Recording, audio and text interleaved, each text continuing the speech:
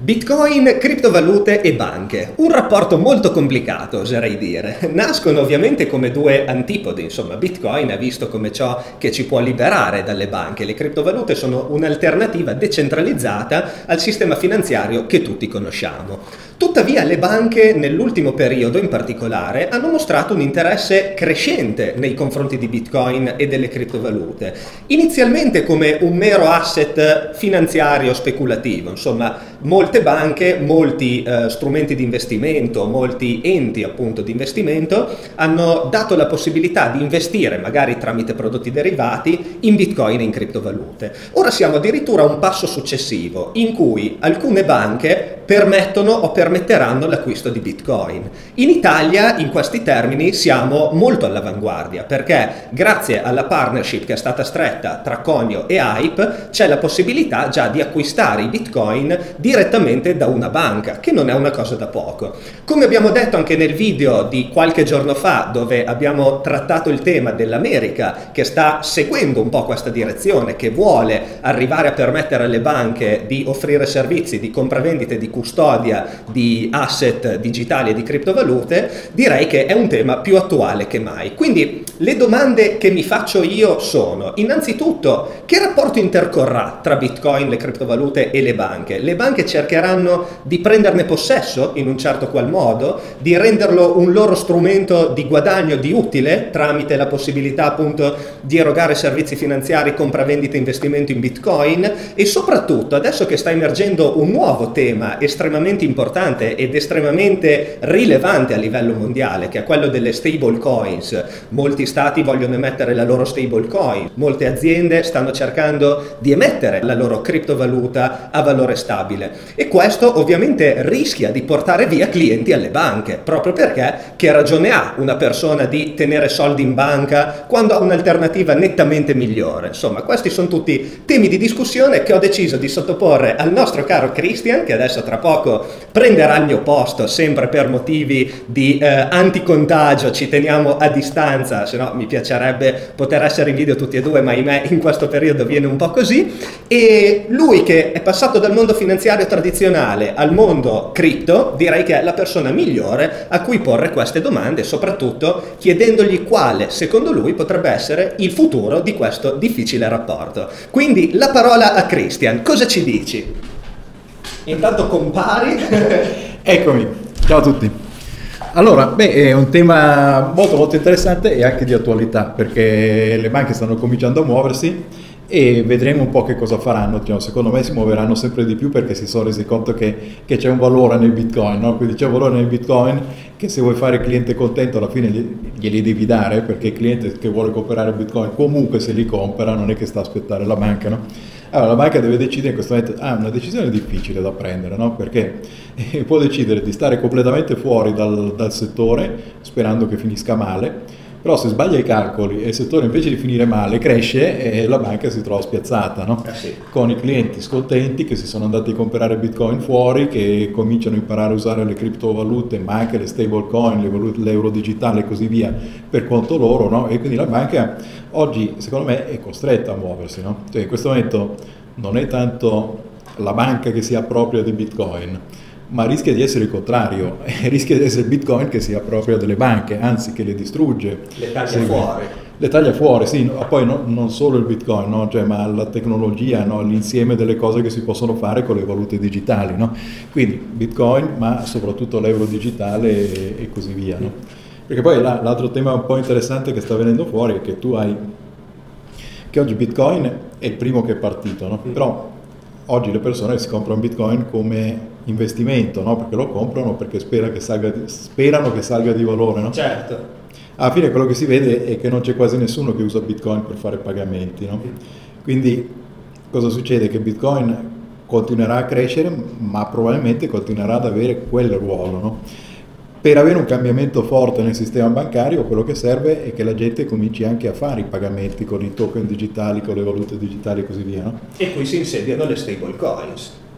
Certo, certo, e lì esatto, esattamente quello che sta succedendo. No?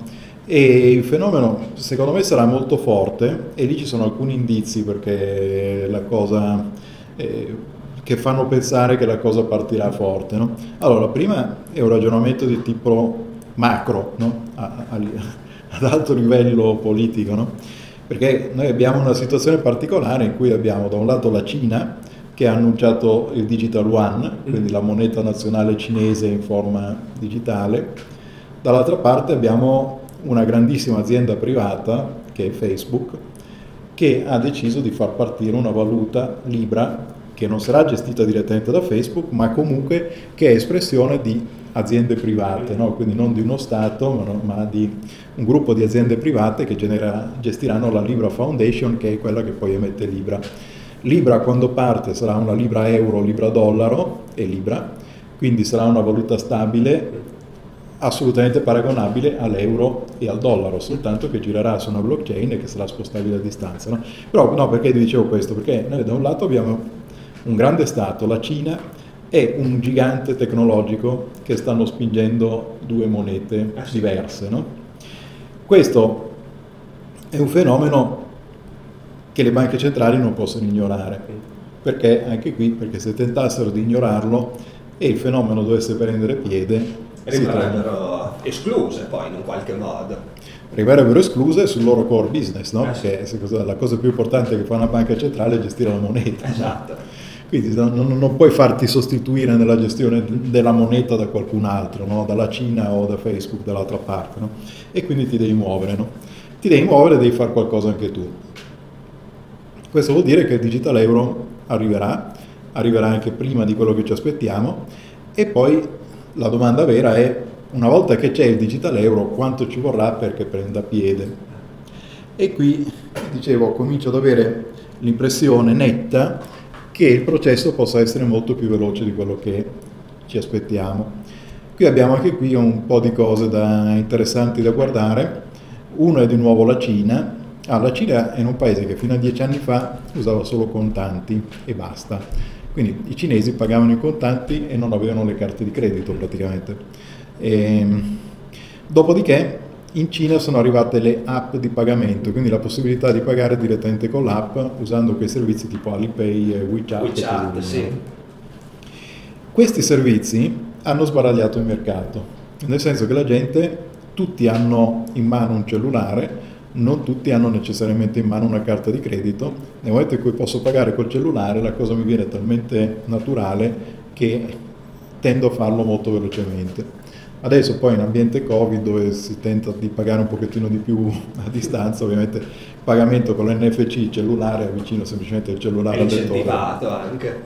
Sì, siamo, siamo, stati tutti spinti in quella direzione no? molto fortemente, quindi allora, i pagamenti con i cellulari funzionano bene no? e possono prendere piede.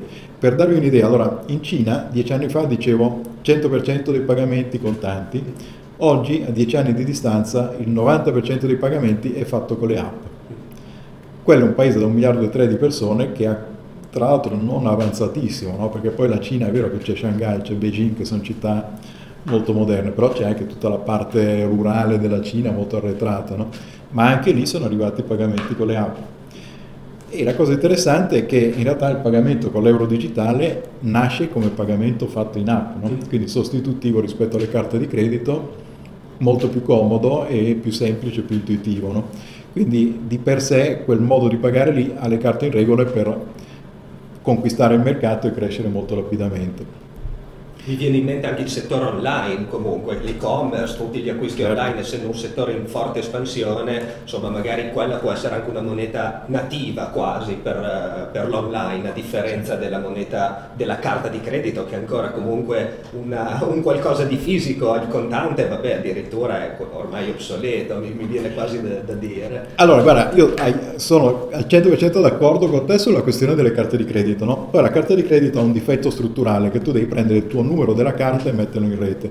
Facendo quello tu stai dando dei tuoi dati personali mm. alla rete e quindi stai dando la possibilità ad hacker, truffatori e così via di intercettare quel dato e utilizzarlo al posto tuo. Questo è un punto debole del sistema delle carte e in effetti l'utilizzo di carte clonate, di numeri rubati e così via è, è frequente. Mm. Noi, noi, lo vediamo diciamo, dal nostro osservatorio, vediamo, capitano casi di carte Immagino. Parecchi, spesso. Quindi la carta è debole da quel punto di vista, e poi ha il secondo difetto che costa. Quindi il negoziante che accetta le carte paga tra il 2 e il 3% di commissione al sistema delle carte. Quindi abbiamo una situazione dove il sistema delle carte non è perfetto né dal punto di vista di chi paga, perché deve dare i suoi dati in rete, quindi ha un problema di privacy, privacy, né da parte di chi incassa perché paga commissioni significative. Allora lì se lo confronti al digital euro è chiaro che c'è un vantaggio enorme, no? Perché col digital euro tu cosa devi fare? Devi solo sapere qual è l'indirizzo a cui mandare i soldi, ma non devi dare nessuno dei tuoi dati alla rete, no? Quindi è molto sicuro da parte di chi spedisce i soldi e contemporaneamente dà un forte vantaggio a chi incassa perché tipicamente non hai l'intermediazione di circuito di carte, emittente della carta, acquirer e così via, quindi sostanzialmente quando incassi euro digitale avrai un costo tendenzialmente di zero. Per cui tu hai un vantaggio per chi paga, un vantaggio per chi incassa e quindi ci sono tutte le premesse perché il sistema cresca molto molto molto velocemente. Poi per il contante, beh allora che il contante sia obsoleto purtroppo è vero, però alla fine non è da disprezzare contante, no? Perché cosa succede? Se tu hai contanti, i contanti ti rimangono, l'unico modo che hai di perderli è che qualcuno proprio te li sottragga. Li no? via fisicamente. Se invece i soldi li tieni in banca, perché è più moderno, perché devi usare le carte e così via, e poi la banca ti fallisce, o c'è un problema generale sul paese per cui blo- vengono bloccati i conti delle banche, beh, tu quei soldi lì non li puoi più usare. No? Sì. Ah, sembra una cosa strana, poco probabile e così via, lo è molto meno di quello che sembra. No? Allora, 2015 è capitato in Grecia, no? quindi in Grecia non ho più potuto usare i soldi che avevano in banca da un giorno all'altro perché a causa della crisi finanziaria che ha coinvolto la Grecia le banche sono state messe in freeze. No? C'è stata la corsa agli sportelli, tutti volevano i contanti, non ha torto, perché il contante c'è il vantaggio che una volta che ce l'hai in mano è tu e basta, no? E, e invece diciamo le banche si sono dimostrate a rischio. No? Le banche sono state chiuse per un certo periodo e in questo periodo chi aveva soldi in banca era come se non ce li avesse, diciamo. No? Poi hanno salvato la Grecia e le banche hanno riaperto via. No? Però cioè, a pensarci davvero sembra uno scenario talmente distante da noi che uno cerca ovviamente di, di dire no, vabbè, non può capitare, però cioè, pensando anche solo per un secondo che capiti è veramente apocalittico come scenario. Ecco, e lì le criptovalute e il digital euro ti proteggono da quello ah. scenario lì, no? Perché allora, dal punto di vista della, di quello che sono, no? la criptovaluta e il digital euro è molto più simile al contante di un deposito bancario, no? quindi quando tu hai la criptovaluta o hai il digital euro sul tuo wallet è tuo, non hai un intermediario mm. di mezzo. No? E quindi sostanzialmente è molto più simile il digital euro al contante di quanto non sia al deposito bancario o sì. alla carta di credito. No?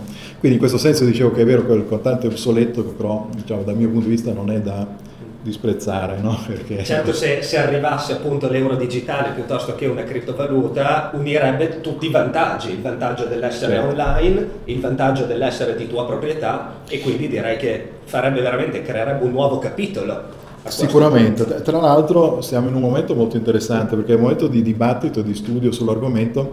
Tu hai oggi da un lato i due grandi blocchi contrapposti, no? la Cina e gli Stati Uniti dall'altra, che entrambi eh, propongono dei sistemi di pagamento con un forte livello di controllo statale. Ah, la Cina, perché tutto quello che fa vuole per definizione controllare esatto. tutto, diciamo, e quindi è nella natura della Cina voler controllare tutto. No? E così il Digital One quando nasce, nasce come valuta perfettamente controllato dallo Stato cinese. D'altra parte però anche lo stable dollar nasce con un forte livello di controllo per altri motivi questo. Il motivo è che gli Stati Uniti storicamente diciamo, controllano il sistema finanziario per la prevalenza che ha il dollaro come sistema di pagamento. No? Quindi quando gli Stati Uniti vogliono imporre sanzioni su un certo paese, cosa fanno? Eh, le impongono e poi eh, sanzionano chi non vuole applicare quelle sanzioni semplicemente impedendogli di usare i dollari o multandolo. Mm. Questo lo possono fare perché controllano il dollaro certo. e vogliono continuare a farlo, quindi vogliono continuare ad avere il dollaro come valuta mondiale e come strumento per imporre sanzioni e politica economica americana su, sul resto del mondo. Certo. Per fare questo hanno bisogno di uno stable dollar con eh, tutta una serie di livelli di controllo, no? quindi le blacklist, la possibilità di imporre sanzioni decise dallo Stato americano che poi devono essere, sono applicate poi a livello mondiale, anche extraterritoriale dal punto di vista degli Stati Uniti, però sostanzialmente vogliono mantenere la possibilità che hanno di imporre sanzioni a tutto il mondo. La cosa interessante è che questa invece è una cosa che l'Europa potrebbe evitare. Cioè, L'Europa è un po' il terzo incomodo in questo gioco, no? perché oggi l'euro è una moneta importante ma non è certo la moneta per i pagamenti mondiali, no? è una moneta certo. che si usa qui e poco più, diciamo sostanzialmente. Quindi oggi la Banca Centrale Europea deve decidere che tipo di euro digitale fare e può decidere tante cose diverse, quindi può decidere di seguire la strada di Stati Uniti e Cina e quindi creare una moneta con indirizzi in blacklist con la possibilità di imporre sanzioni e così via, ma a questo punto rimarrebbe la terza moneta, no? perché non ci sarebbe un particolare motivo per nessuno di utilizzare l'euro digitale che si comporta allo stesso modo del dollaro digitale o del yuan digitale. A quel punto lì usi il dollaro che è anche una moneta più forte, più accettata e quant'altro. Esatto, no? La questione vera è che però eh, non è questa l'unica scelta possibile per l'Europa e qui è interessante che il dibattito sia aperto, c'è un interessante contributo di Yves Mersch sul, che potete trovare sul sito della BCE. Qui Yves Mersch, che è un componente del Supervisory Board della Banca Centrale Europea, quindi uno dei massimi livelli, no? cioè una voce molto autorevole, ha cominciato a discutere la possibilità per l'Europa di fare un euro completamente anonimo e con privacy assoluta quindi senza la possibilità per la banca centrale o per i singoli stati nazionali di controllare i movimenti fatti e di intervenire sulla proprietà della moneta. In questo senso l'euro digitale di questo tipo sarebbe una sorta di contante digitale che darebbe esattamente lo stesso livello di anonimità nelle transazioni e la stessa garanzia di eh, difesa della proprietà privata, perché una volta che io ho l'euro digitale non ci sarebbe nessuno che me lo può togliere. No? Allora, L'idea sembra un po' un'idea eretica, soprattutto. Sì, infatti eh, mi stupisce questa cosa, proprio perché insomma, una banca centrale il cui scopo dovrebbe essere controllare quanto più possibile tutto ciò che è nella sfera della moneta. Allora, no? non, è detto, non è detto, non è detto, perché alla fine oggi il contante viene emesso dalla banca centrale, quindi eh, il contante per definizione non è controllato. No? L'altra cosa, è vero che lo Stato deve combattere la criminalità, ma non è vero che per combattere la criminalità deve eliminare del tutto la privacy dei suoi cittadini. Oggi di fatto il contante esiste e tutti i cittadini posseggono contante, quindi quando usano il contante non c'è stato che tenga quello che si fa rimane tracciato, assolutamente certo. tracciato e privato. No? Allora, quindi diciamo, non è affatto detto che lo Stato debba per forza, con, debba per forza controllare tutto, è un'idea secondo me anche un po' esorbitante per certi versi, cioè lo Stato secondo me supera di molto i suoi obiettivi se fa una cosa del genere, ma l'altra cosa importante da considerare è il beneficio che posso avere se faccio una cosa del genere. Allora, se io creo una moneta totalmente anonima, è facile che questa venga adottata in maniera molto entusiastica, non solo in Europa, ma forse anche fuori dall'Europa. Quindi io potrei ottenere l'effetto di creare la nuova moneta mondiale in sostituzione del dollaro di oggi. Se avviene questo, cosa succede? Che la circolazione dell'euro aumenta moltissimo, la quantità di euro che dovrà essere in circolazione aumenterà molto e quindi le risorse a disposizione della banca centrale per aiutare gli stati a finanziare la propria spesa pubblica può aumentare in maniera molto molto forte. No? C'è il corrispondente del signor Angio, no? allora, oggi nel momento in cui stampa una banconota ho un costo ridicolo della carta no? e poi ho, ho, emesso un oggetto che vale 100 euro, no? sì. 50 euro e così via, no? per pochi centesimi. Con l'euro digitale è esattamente la stessa cosa, no? se io metto un token digitale e mettere quel token digitale a un non costo costa nulla. Zero, no? costa zero, però quel token vale comunque un euro, 100 euro, un milione di euro, quello che vale. No? Quindi sostanzialmente io ho un signoraggio molto significativo che dipende da quanto questa moneta circola.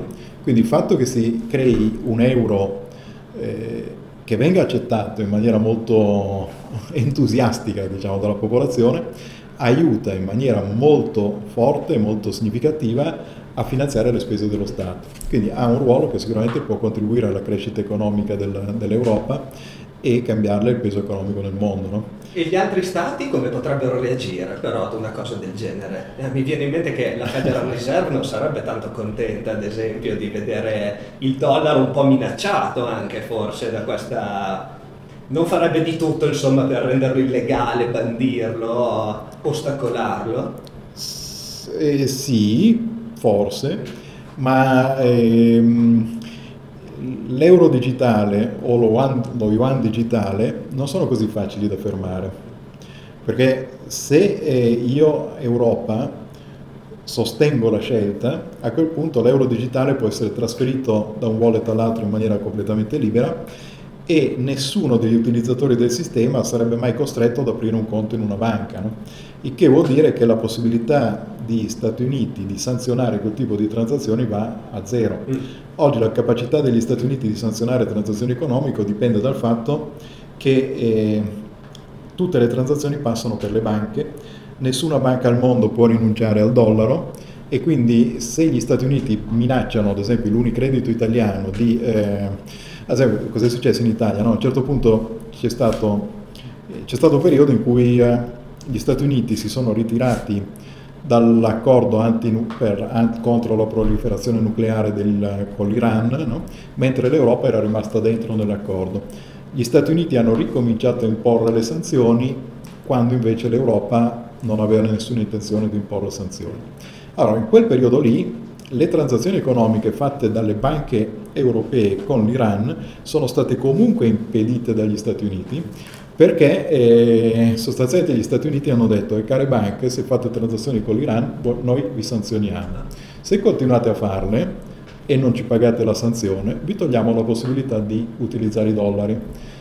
Perché, e come fanno a farlo? È possibile perché qualsiasi transazione in dollari in un momento della sua vita fa un passaggio su qualche banca americana, per quantomeno forza. per il clearing. No?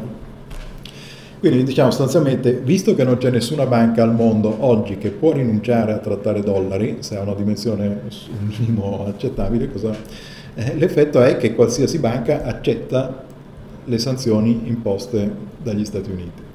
Se però la transazione economica si può fare senza usare un sistema bancario, quindi se io posso fare un pagamento diretto dall'Unicredito all'Iran, o oh no scusa, dall'Unicredito è l'esempio sbagliato perché quella è una banca, no, oppure dall'azienda, dal Deitali italiana all'azienda iraniana e questa è una cosa permessa dallo Stato europeo, quella transazione che non va sul sistema bancario non è possibile che venga stoppata né dagli Stati Uniti né dalla Cina dall'altra parte. No? Tra l'altro uno dei motivi per cui la Cina sta creando il yuan, lo yuan digitale è proprio quello di fare guerra al dollaro evidentemente, no? Eh sì. sì. si mette un po' nell'onda della rivalità Cina-Stati Uniti, insomma. Certo, e lì l'Europa eh, che sta in mezzo può, può trovare la sua via se vuole. E Bitcoin in tutto questo invece come, come, lo inquadri? Perché comunque finora abbiamo parlato di valute sempre statali, che magari vuoi o non vuoi, comunque sottostanno a certi limiti come quelli che lo Stato comunque ha il diritto di crearne altra perché lo, lo governa. E Bitcoin come si potrebbe inserire quindi in questo quadro? Allora la più grossa differenza strutturale che c'è tra Bitcoin e un digital euro è che l'emissione dei Bitcoin è limitata ed è, determinata dall'algoritmo, quindi al massimo ci saranno 21 milioni di Bitcoin gli euro comunque in circol- invece in circolazione possono aumentare a piacere perché l'offerta è regolata solo ed esclusivamente dalla Banca Centrale Europea. Quindi l'effetto cos'è? Che il valore dell'euro ovviamente sarà sempre un euro, se ne vengono emessi troppi potrà esserci inflazione e il valore dell'euro potrà calare, e, mentre il valore del bitcoin che ha un'offerta fissa dipenderà solo ed esclusivamente dall'andamento della domanda e dell'offerta e tendenzialmente in un mondo in cui c'è il cosiddetto quantitative easing, che vuol dire stampare furiosamente moneta nuova, no? Brrr, esatto. C'è il meme che gira. Esatto. E, allora, in un mondo di questo tipo è chiaro che il valore relativo tra Bitcoin e moneta sì. inflazionata andrà tendenzialmente a favore del Bitcoin. No? Quindi Bitcoin a mio parere è facile che rimanga uno, un ottimo strumento per avere uno store veglio, no? quindi una garanzia di valore nel tempo. Quindi Bitcoin un asset ma non una currency, diciamo, un qualcosa da detenere ma non da spendere per fare transazioni, magari per trasferire valore, ma non per pagare un bene. No, per pagare un bene è difficile perché comunque se quando avrò il digital euro e il Bitcoin avrò, sono esattamente nella stessa situazione che sono oggi, per cui tendo a usare l'euro per fare i pagamenti e il Bitcoin li compro e li tengo. Ah sì, certo. Molto interessante questa cosa, in particolare il discorso del, del digital euro come moneta privata, cioè privata nel senso dotata di privacy, che è un concetto che non conoscevo e devo dire mi, mi affascina veramente tanto. Ma comunque guarda lì, la cosa interessante è che entriamo in un periodo in cui anche tra le monete ci sarà concorrenza. Ah, sì. Questa è una cosa strana perché siamo abituati a dire c'è l'euro, possiamo usare quello e basta, no? Ma da ora in poi, quando ci saranno l'euro digitale, lo yuan digitale, il dollaro digitale, in realtà io potrò scegliere molto più facilmente. E quando si può scegliere, alla fine le persone scelgono secondo le proprie preferenze e quindi chi disegna la moneta deve farlo tenendo conto delle preferenze delle persone. Qui tra l'altro abbiamo un caso molto interessante secondo me che eh, fa un po' capire cosa potrà succedere quando arriveranno queste monete statali digitali. No? Ed è il caso del dollaro. Allora, il dollaro digitale in realtà è partito già da 3-4 anni ed è, cioè il primo dollaro digitale è stato il Tether, mm. famigerato Tether, no? Tanto odiato da tutti perché è poco trasparente, poco sicuro. Sì, fa schifo il Tether, no? Perché tu non sai che cosa diavolo stai comprando, esatto. no? Sai che in teoria vale un dollaro, ma magari non c'è niente dietro, quindi puoi anche scoprire che non vale niente, no? Comunque è anonimo e quindi il Tether è una cosa molto chiara? Fa, è, è, è, poco sicuro perché non sai cosa c'è dietro, però è anonimo. Ah, oggi ce ne sono, adesso un po' che non guardo questi dati, ma mi sembra che siano almeno 4 miliardi di Tether in circolazione. 9, 9 sì, sì, sì. È un bel po' che non sì, guardavo i dati. Ma ultimamente poi sono cresciuti in maniera esponenziale con l'esplosione anche della DeFi, che comunque esatto. le stablecoins hanno avuto un sacco di domanda e Tether come sempre guida questa domanda. Comunque la cosa interessante è che il Tether è un dollaro digitale e quindi rompe le scatole diciamo, agli Stati Uniti no? e che quindi hanno dato il via libera ad alcune aziende americane per fare degli stable dollar ufficiali e autorizzati ufficialmente dalle autorità degli Stati Uniti. No? Quindi Circle, Gemini hanno fatto le loro versioni del dollaro digitale. La, queste versioni del dollaro digitale sono molto sicure perché queste società sono costrette ad avere delle vere riserve, no? quindi a fronte di ogni dollaro digitale emesso da Gemini o da Circle effettivamente c'è un dollaro depositato in una banca e quindi sei sicuro che c'è qualcosa dietro, no? quel dollaro vale un dollaro. Certo. Però sono molto controllate, quindi ci sono le blacklist, possibilità di sanzioni, possibilità di, di fare il freeze dei fondi a piacere da parte delle autorità americane beh, l'effetto cos'è? Che il Tether è a 9 miliardi, questi qui sono a qualche centinaio di milioni. No? Ah, Quindi vuol dire che alla fine tra sicurezza finanziaria e, e anonimità, tra virgolette, la gente preferisce, preferisce la seconda. Nettamente sì, è vero. La privacy è, privacy, sì. è un, um, dire, un, valore che, a cui molti tendono, che purtroppo si tende sempre di più a perdere. Allora, tu pensa cosa può essere un euro digitale emesso dalla banca centrale? No? Se è effettivamente anonimo e garantisce la privacy a livello proprio del protocollo, tu hai una moneta perfetta, no? perché privacy assoluta, ma anche garanzia assoluta che quella moneta abbia un valore, perché è emessa dalla Banca Centrale Europea.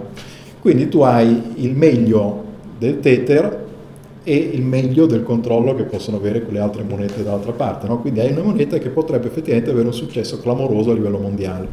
Perché non farlo? Secondo me non c'è nessun motivo. L'Europa deve fare quello, deve farlo velocemente e diventerebbe di nuovo centrale nel sistema economico mondiale. Caspita, sì, è vero, potrebbe veramente prendere piede e addirittura crescere anche fuori dall'Europa. Certo. Tema molto interessante questo, grazie mille Christian per, la, per, il tuo parere, è stato direi quasi illuminante perché molte di queste cose io neanche le conoscevo e secondo me neanche chi ci segue, quindi sicuramente sarà, sarà apprezzato. Abbiamo parlato un po' del futuro del denaro, quindi chissà quale può, può essere il futuro del denaro e voi che ci state seguendo che cosa ne pensate? Pensate che eh, il denaro andrà in questa direzione, che l'anonimato, la privacy prevarranno sulla necessità comunque di avere un qualcosa di regolato oppure che in qualche modo questo euro digitale che mette in risalto la privacy darà fastidio a qualcuno e verrà ostacolato con tutti i mezzi possibili? Mi raccomando dite sempre la vostra opinione, vi faccio un caro saluto e alla prossima.